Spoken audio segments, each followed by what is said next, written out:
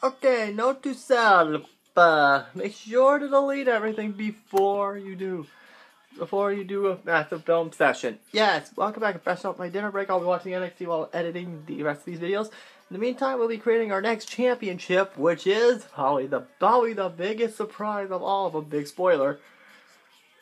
Big spoiler. It is the Global Championship. And by the way, the next one will be the Rated R Championship. Even though the Backstage Brawl are not is not in this game, which fucking sucks.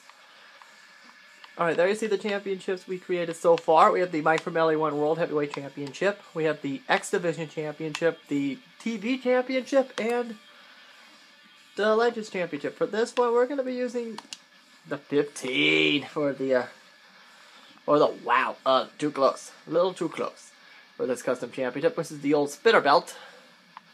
And as for the strap, we're keeping it the way it is. Yeah, the big spoiler, we're keeping it the way it is. For the material, we're gonna use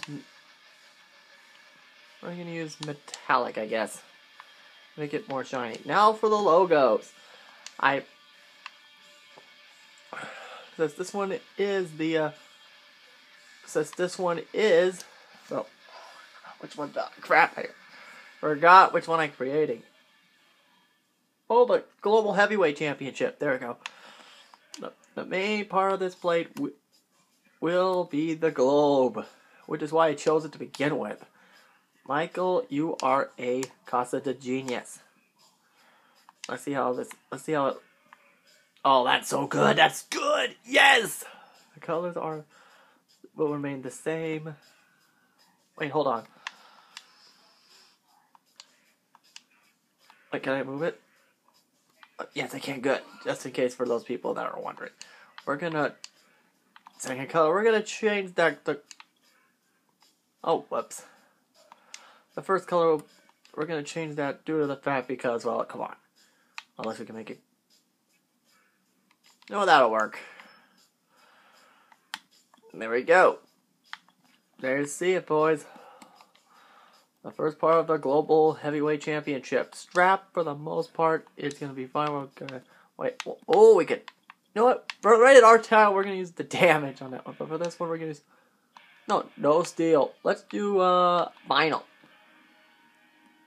On this one. Wait, we can put logos on here? Let's see. I'm actually kind of curious. Oh, we can't? Wow. Oh well, that's a that's a shame, but okay, let's side plate. We could use two side plates for this, so we're gonna one of them one of them will be the classic W W E scratch logo because it has the globe on it. There we go. And the second wait, whoa, whoa, whoa, whoa, whoa, whoa, whoa, wait, wait, wait, wait.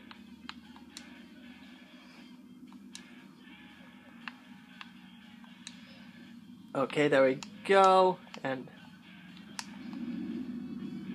just that don't. Why did I use that one? And there goes someone, some guy driving. And wait, wait, wait, wait, what is this? Oh, this is from the tag titles. Get their. Somebody go get the whistle. Alright, that'll work. Yeah, this is probably the, the sloppiest of the belt designs I've done so far, but the rest of them will be, uh, will be, uh, fine. Now that the engine's been, uh, now that the belts have, uh, well, engine's been, well, shut off. And there we go. And there it is, guys, the Global Heavyweight Championship. Join me in a little bit when we will uh, when we will create the Zachman 18 Championship and then the Mike from LA1 Women's Championship as well as my version of the WWE Women's Championship. Should Undisputed Women's Championship, which will look exactly like the belt in real life thank you guys so much for watching, and I will, uh, and I will see you guys what later. Subscribe.